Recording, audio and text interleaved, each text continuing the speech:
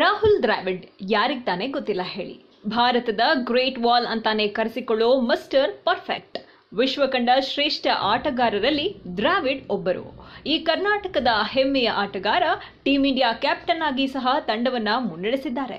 ಅಷ್ಟೇ ಅಲ್ಲ, ದ್ರಾವಿಡ್ಗೆ ಐಪಿಎಲ್ನಲ್ಲಿ ಆರ್ಸಿಬಿ ತಂಡದ ನಾಯಕನಾಗಿ ಸಹ ತಂಡವನ್ನ ಮುನ್ನಡೆಸಿರೋ ಅನುಭವ ಇದೆ.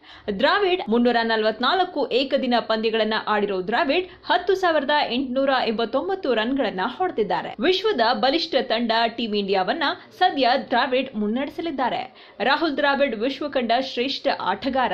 ಭಾರತದ ಗ್ರೇಟ್ ವಾಲ್ ಅಂತಾನೆ ಖ್ಯಾತಿ ಪಡೆದಿರೋ ಇವರು ಈಗ ಭಾರತದ ಪುರುಷರ ಕ್ರಿಕೆಟ್ ತಂಡದ ಮುಖ್ಯ ಕೋಚ್ ಆಗಲು ಒಪ್ಪಿಗೆ ನೀಡಿದ್ದಾರೆ. ಸದ್ಯ ಭಾರತ ತಂಡದ ಮುಖ್ಯ ಕೋಚ್ ಆಗಿದ್ದ ರವಿ ಶಾಸ್ತ್ರಿ ಅವಧಿ ಈ ವರ್ಷದ ಐಸಿಸಿ ಟಿ ಟ್ವೆಂಟಿ ಕಪ್ ವೇಳೆಗೆ ಮುಗಿದಿದೆ.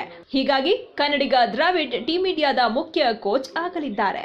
ಈ ಮೂಲಕ ಭಾರತೀಯ ಕ್ರಿಕೆಟ್ನಲ್ಲಿ ತುಂಬಾ ದಿನಗಳಿಂದ ಚರ್ಚೆ ಆಗ್ತಾ ಇದ್ದ ವಿಷಯವೊಂದಕ್ಕೆ ಸದ್ಯ ಪೂರ್ಣ ವಿರಾಮ ಸಿಕ್ಕತ್ತಾಗಿದೆ ಇನ್ನು ಹಲವಾರು ಚರ್ಚೆ ಮತ್ತು ನಿರ್ಧಾರಗಳ ನಡುವೆ ರಾಹುಲ್ ದ್ರಾವಿಡ್ ಭಾರತೀಯ ಪುರುಷರ ಕ್ರಿಕೆಟ್ ತಂಡಕ್ಕೆ ಕೋಚ್ ಆಗಲಿದ್ದಾರೆ.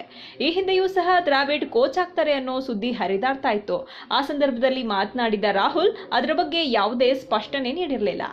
ಆದ್ರೆ ಐಪಿಎಲ್ ಫೈನಲ್ ಪಂದ್ಯವನ್ನ ವೀಕ್ಷಿಸಲು ಆಗಮಿಸಿದ್ದ ಬಿಸಿಸಿಐ ಅಧ್ಯಕ್ಷ ಸೌರವ್ ಗಂಗೂಲಿ ಮತ್ತು ಕಾರ್ಯದರ್ಶಿ ಜೈಶಾಲ್ ಪಂದ್ಯ ಮುಗಿದ ನಂತರ ಸಭೆ ನಡೆಸ್ತಾರೆ. ಆ ವೇಳೆ ಜಾಮಿಯನ್ನ ಕೋಚ್ ಆಗಿ ಕಾರ್ಯನಿರ್ವಹಿಸಬೇಕು ಅನ್ನೋ ಪ್ರಸ್ತಾಪವಿಟ್ಟಿದ್ರು ಇದಕ್ಕೆ ಒಪ್ಪಿಗೆ ನೀಡಿರೋ ದ್ರಾವಿಡ್ ಶೀಘ್ರದಲ್ಲೇ ತಂಡದ ಟ್ರೈನರ್ ಆಗಿ ಫೀಲ್ಡ್ಗಿಳಿಯಲಿದ್ದಾರೆ. ಟಿ ಟ್ವೆಂಟಿ ವಿಶ್ವಕಪ್ ಮುಗಿದ ನಂತರದಲ್ಲಿ ಟೀಂ ಇಂಡಿಯಾವನ್ನ ದ್ರಾವಿಡ್ ಸೇರಿಕೊಳ್ತಾರೆ. ಕಳೆದ ಜುಲೈ ತಿಂಗಳಿನಲ್ಲಿ ಬಿಸಿಸಿಐ ಟೀಂ ಇಂಡಿಯಾವನ್ನ ಎರಡು ತಂಡಗಳನ್ನಾಗಿ ಮಾಡಿ ಒಂದು ತಂಡವನ್ನ ಶ್ರೀಲಂಕಾಗೆ ಕಳುಹಿಸಿತ್ತು.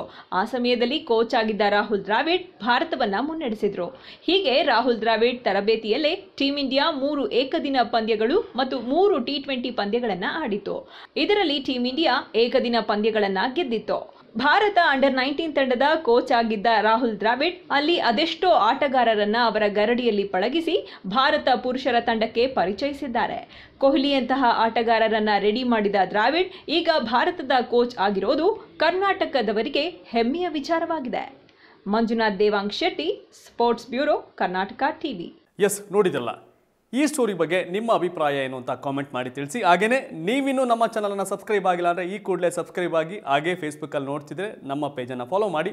ಇದು ಕರ್ನಾಟಕ ಟಿ ವಿ ಕನ್ನಡಿಗರ ಧ್ವನಿ.